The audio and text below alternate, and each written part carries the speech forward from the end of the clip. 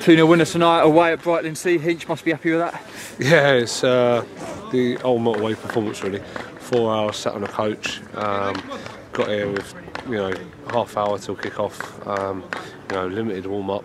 Um, but we stuck to a sort of different game plan. It's not conducive to the type of football that we, we play at home. We had to put it into areas, win second balls, all the cliches come out today. Throw the line.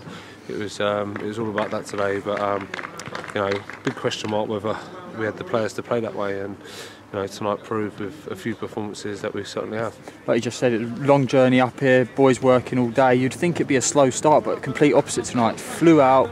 Uh, Ollie took his goal really well in the 10th minute. Were you surprised by that? Yeah, it was it was a great finish from Ollie. Um, you know, he's got he's got that in around the box. We need to get him in around the box more often, and um, you know, just great technique on the on the left foot strike there to, to get that much power in it.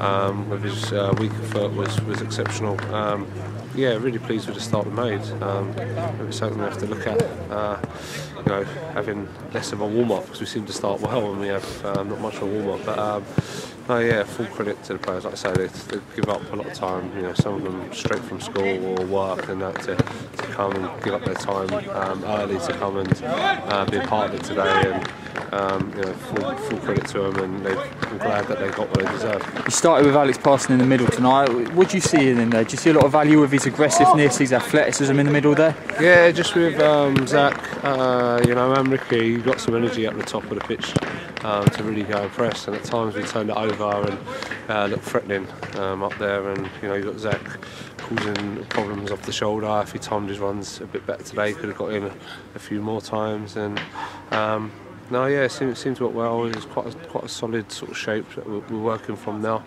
Um, so really pleased with that, and uh, yeah, a clean sheet's really important. That man, Jalen Jones, found himself another goal tonight, 70th minute. Uh, must he's sliding into the team perfectly at the moment. Yeah, um, lots. Of, it, was probably the sort of ultimate second half performance. You know, he defended doggedly, um, limited them to very little, although they had a lot of the ball, um, and then you sort of when you get set pieces, you've got to go and take them, and that's what we've done. You know, with with his sort of aerial presence that he's got, um, you know, he should be scoring a lot of goals, and um, yeah, delighted for him. He's, he's, he's come in. He, he trained with us for a couple of weeks, but you know, since he's been in playing, um, slotted in uh, perfectly, and yeah, there's been a sort of lot of criticism um, labelled at the um, squad and stuff in the last couple of weeks. Um, so I'm really pleased that they got their just deserves today. I don't think we got that on Saturday. It was a good performance. We didn't get, quite get the uh, rubber the green on Saturday in my eyes. Um, um, so I'm pleased that you know this this victory puts us back up in the playoff mix. You look at a few of our last uh, away performances, Margate and then Leatherhead. We go one 0 up and then we end up leaving with nothing. Were you a lot happier with the defensive side of the play today? Yeah, definitely. I thought in particular Joel today was was class. Um, I was on his case at um, Dorking at home because I know this is the kind of performance he, he can produce. Um, and if he produces them like this, he's one of the best centre halves in the league, in my opinion. Um, so that's why I'm on his case. Um, and I was at Dorking, probably a bit harsh on him.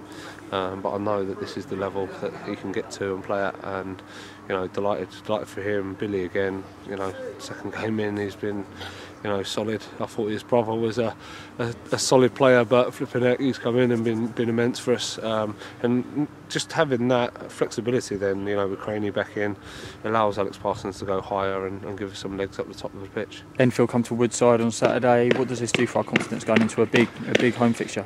Yeah, um, I said all along, like if you get um, a young group and they're on a run of bad results, um, you know, the confidence can dwindle quite quickly. But going the other way, if you can get one or two victories together, um, you know, the confidence can soon shoot high.